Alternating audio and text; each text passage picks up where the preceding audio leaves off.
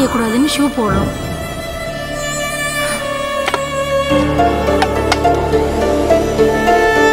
நாங்க ஆண்களோட மனசை சஞ்சலப்படுத்துற மாதிரியோ அவங்க உணர்ச்சியை தூண்டுற மாதிரியோ உடுத்தக்கூடாதுமா?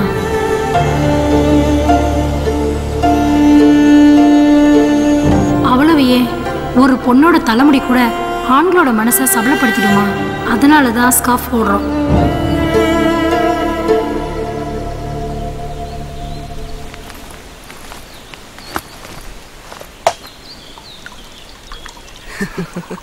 ஆண்டி சூப்பரா இருக்குல்ல? ஆமாண்டா கும்முன்னு இருக்காங்கடா ஆண்டி நாலு டீ. மச்சான் ஆண்டி அம்சமா இல்ல? லூசாடா நீ அனுஷ்கா மாதிரி இருக்காங்க. டேய் கண்ணாடியை கழட்டிட்டு போடுறான்.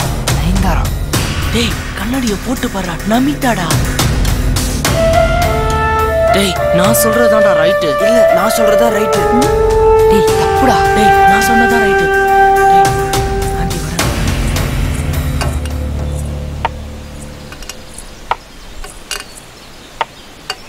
என்னடா? குசு குசுன்னு பேசிக்கிட்டு இருந்தீங்க? பின்ன உங்களை ஆன்ட்டிங்கிறான் ஆண்டியா? நான் அனுஷ்கான்னு இல்ல சொன்னேன் நான் நயன்தாரான்னு சொன்னேன். நான் நமிதான்னு சொன்னேன். நான் அவ்வளவு அழகா இருக்கேனா?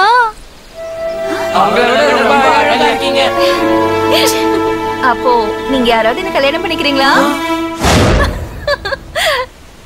முட்டா பசங்க. அம்மா.